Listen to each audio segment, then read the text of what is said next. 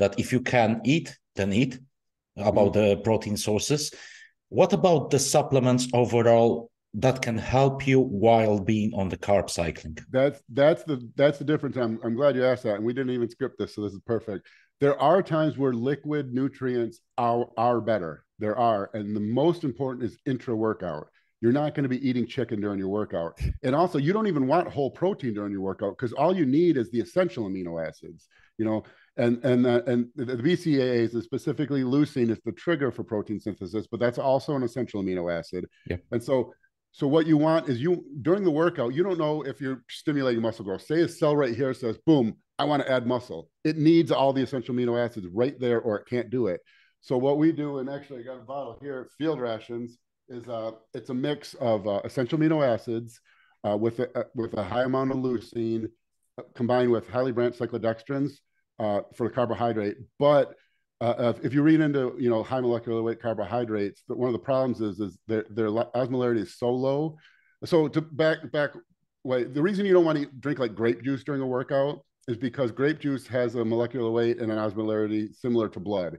So that means there's no pull. If you remember osmosis, you know, there's no no, no pull. So that that grape juice sits in your stomach. There's nothing to suck it into the small intestine really. So blood kind of pool, and sometimes there can even be a reverse gradient where water water will come from the bloodstream and pool in the stomach, and you get bloated. You know, if you ever drink a ton of the juice and you like your stomach's all bloated, it's not just from the juice; it's because other water's going in there too, and that water now can't go to your muscle, and you feel like crap where a high molecular weight carbohydrate has a low osmolarity. And what that does is it, it, instead of pooling water in the stomach, it basically is like a bowling ball right into the small intestine. And that's where nutrients get absorbed. The problem is, though, is then the water pools there in the intestines. And if it pools in the large intestine, you're going to get something called dumping syndrome, which is appropriately named because you're going to have to run to the bathroom and, and release your diarrhea.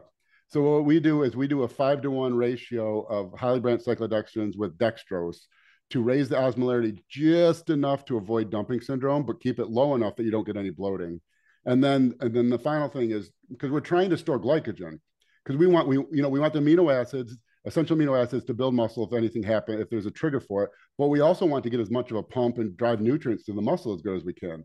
And to, so we want to store form glycogen. And so another problem you'll see with intra workouts is they won't have any sodium and so what glycogen is is glycogen is carbs in the muscle but it's one for every one part of glucose there's four parts water so glycogen is made of one part glucose four parts water and then the carrier is sodium and so if you don't have the sodium you will can't carry it. And and you can even track this. You take someone who's had too many diuretics and their blood sodium content is super low, their blood sugar skyrockets. That and that's why you can't fill out. That's really what spilling over is more is that you can't, it's not that you had too many carbs, it's that you don't have the other nutrients to take those carbs to the muscle. They spill into the bloodstream and you look like crap.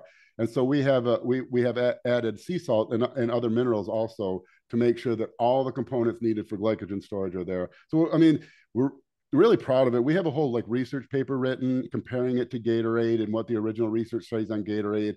I think just in general for for any sport where you you know like where you're working hard for an hour or more, I think it's very valuable. It, to get the message out, you know, is hard, you know, because it's like you know obviously Gatorade is uh, I think Coke owns that Coca Cola. They're going to out advertise me, you know. So you, it's hard to get the word out, but it's really is it really is a product we're proud of that's why you need uh, you know to do more podcasts than, yeah. than this one. Uh, when it comes to the supplements i still want to ask about the gdas you know the glucose disposal agents. Yeah. Do you use them? Oh yeah. Yeah. Our, our product suppressor is uh i've been using that for years. So i I always track data. I got like Google Drives full of just like noting what my clients say and whether. Uh, so, from what my experience is, is pr- properly used, fifteen hundred milligrams of berberine per day when it's good berberine and it's paired with something like cinnamon or piperine, black pepper extract, something to improve the bioavailability, 1500 milligrams of that per day appears to be about as effective at lowering blood sugar as a thousand milligrams of metformin, you know? And so you think that's great, but then you also think, well, why, just take metformin then. Well, the problem with that is metformin works through cyclic AMP, which is like an anti-inflammatory, it's an anti-hypertrophy pathway. So metformin actually slows the rate of muscle growth. Now, if you're on anabolics, it's probably not going to slow it enough to make much of a difference, but we don't want to slow it at all. Now, berberine works through a cascade reaction with IGF 1. So not, berberine works just as well in metformin, but rather than hold back muscle growth, it it works through IGF-1 to promote muscle growth. So it's like the perfect product. You know, it's like why wouldn't why would anyone not take this? You know, regardless of what you're doing, if I could raise my IGF-1 and improve my carb utilization and insulin sensitivity, that's a no-brainer. You know, and then we have like the other things, and we have fenugreek also, and fenugreek seed actually can help. It's an interesting one because it lowers blood sugar also by like by stimulating insulin secretion, and actually, you can theoretically go hypoglycemic just from fenugreek seed, almost as if you took insulin. Uh, and we, we use that on, on purpose because the IGF 1 is actually more insulinogenic on a milligram per milligram basis than actual insulin.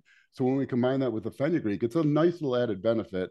And of course, we have the cinnamon uh, in, uh, for in the pip, piperine for uh, increased bioavailability, and then we have uh, RALA, which just is another standard product that's shown time and time again to be beneficial to body composition, body fat levels, and improved glucose, you know, improved insulin sensitivity.